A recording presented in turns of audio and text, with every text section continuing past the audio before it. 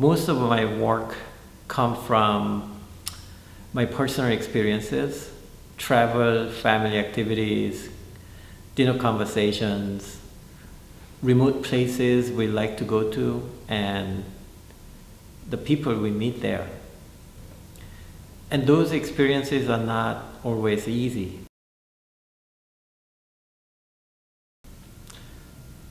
I thought the book form was the perfect form to hold the two languages, photographic images and text. They are meant to be read as equals, like moving from one mental image to another like a dream. It feels like I stumble upon a story and realize it has been there all along. When I was working on this book, I thought of myself as a writer with images and words. What if I could write with photographs? And how does a writing happen with images?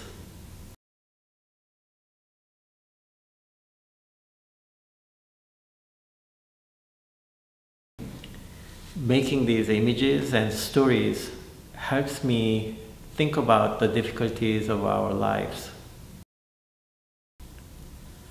My new book, Dear Mother, which has just been published by Datz Press, came out of my experience of becoming a parent and raising a child. My daughter was born in 2017 and as it is true with many new parents, the experience was almost unspeakable, extraordinary, but at the same time, extremely ordinary and common.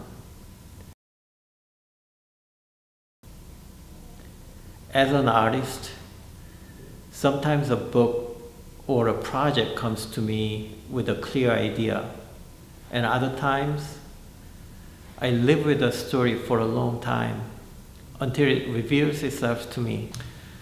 Since my daughter was born, I have been taking pictures without knowing exactly what they will become.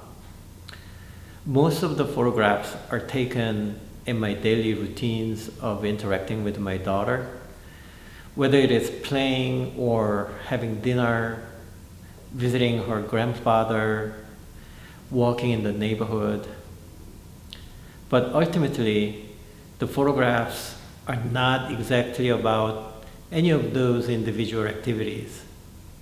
But I think in the middle of these daily activities, an image would shoot up in the sky like fireworks. And that image seems to become its own entity, like a star.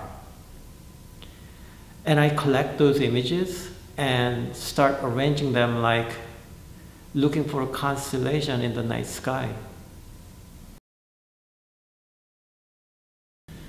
I think of this book as a conversation, and um, there are many conversations happening in this book. A conversation between father and daughter, father and mother, mother and son, memories and the present, Korea and America, What became clear to me about raising a child was that it was a constant reflection on myself, my own experience of growing up, old memories and discovery of new memories, my parents and siblings, and the complex emotions about them. It has been almost 30 years since I left my home country, Korea, and moved to the United States. I think it's about time to write home.